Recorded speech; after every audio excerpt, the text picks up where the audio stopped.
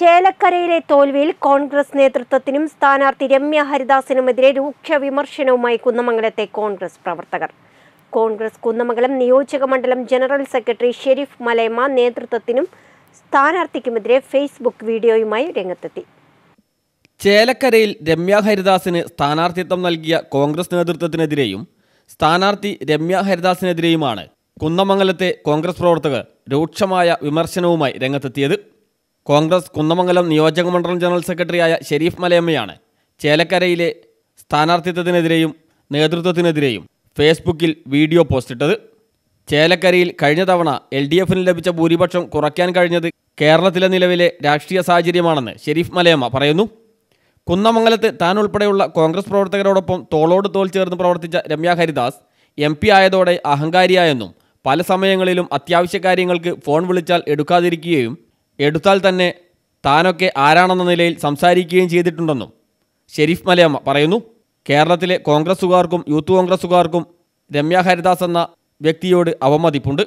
ഈ പരസ്യ പ്രസ്താവനയ്ക്ക് തനിക്കെതിരെ നടപടിയുണ്ടാവാൻ സാധ്യതയുണ്ടെങ്കിലും അഭിപ്രായങ്ങൾ തുറന്നു പറയാൻ സ്വാതന്ത്ര്യമുള്ള പ്രസ്ഥാനമാണ് കോൺഗ്രസ് പാർട്ടി എന്ന നിലയ്ക്ക് കോൺഗ്രസ് നേതൃത്വത്തോട് തനിക്ക് പറയാനുള്ളത് ഇത്തരം സ്ഥാനാർത്ഥികളെ തിരഞ്ഞെടുക്കുമ്പോൾ അവരുടെ പൊതുസ്വഭാവം ആളുകളുമായുള്ള പെരുമാറ്റം തുടങ്ങിയവ ശ്രദ്ധിക്കണമെന്നും ഇല്ലെങ്കിൽ പാർട്ടി ഇനിയും പരാജയപ്പെടുമെന്നും വീഡിയോയിൽ പറയുന്നു. ഇലക്ഷൻ സമയത്തും എല്ലാ കാലത്തും നമ്മളോട് തോളോട് കൂട്ടോൾ ചേർന്ന് ഒറ്റക്കെട്ടായി പ്രവർത്തിച്ച ഒരു വ്യക്തിയായിരുന്നു രമ്യ ഹരിദാസ്. പക്ഷെങ്കിൽ അവർ പിന്നെ നമ്മുടെ എം പി ആയ സമയത്ത് ഈ നമ്മുടെ സംസ്ഥാനത്തെ അല്ലെങ്കിൽ നമ്മുടെ പിന്നെ പ്രവർത്തകരോട് അന്നവരോട് കൂടെ പ്രവർത്തിച്ച ആളുകളോടൊക്കെ പ്രവർത്തിച്ച ഇതിന്റെ സ്വഭാവം മനസ്സിലാക്കുമ്പോൾ അവർക്ക് വോട്ട് കിട്ടാത്തതിൽ അത്ഭുതമില്ല. കാരണം നമ്മളൊക്കെ പല സമയത്തും പല കാര്യത്തിനും വിളിക്കുമ്പോൾ ഒരു സമയത്താണ് ഇത്രയും കാലം അഞ്ചു കൊല്ലത്തിനടുത്ത് ഫോൺ എടുത്തത്.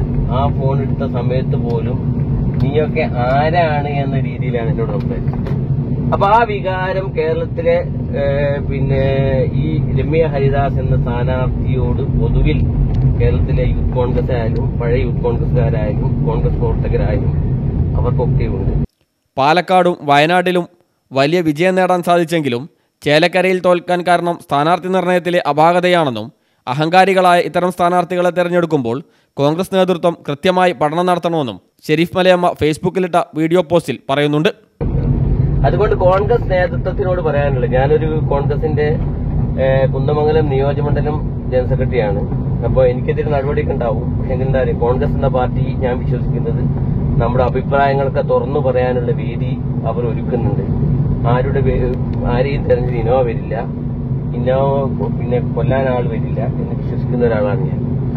അപ്പോ എന്നെ സംബന്ധിച്ചിടത്തോളം എനിക്ക് പറയാനുള്ള കാര്യം നമ്മുടെ കോൺഗ്രസ് നേതൃത്വം ഇത്തരം സ്ഥാനാർത്ഥികളെ